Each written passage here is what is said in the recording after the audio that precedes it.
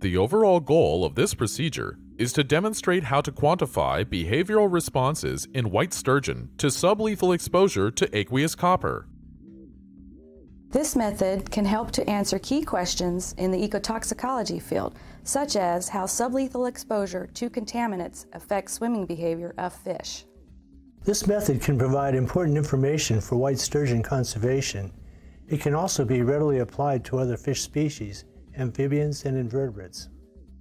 The main advantage of this technique is that the response is highly sensitive, provides an early indication of toxicity, and is relevant to organism survival. Initially, this method may be challenging if the individual is unfamiliar with making behavioral measurements. Demonstrating the protocol will be my co-author, Holly Puglis.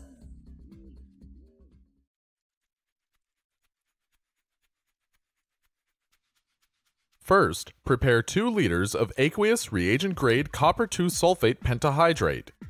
Next, equilibrate the diluter system and exposure tanks.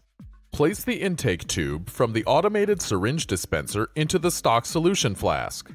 Then, set the automated pump spike volume to 1 milliliter and turn the diluter on. The system makes a 50% dilution series of 5 concentrations and a control.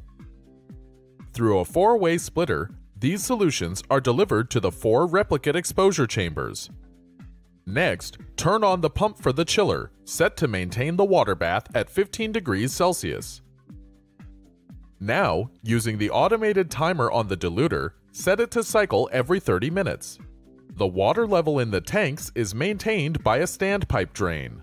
Prepare the exposure chambers by putting a 4 centimeter hole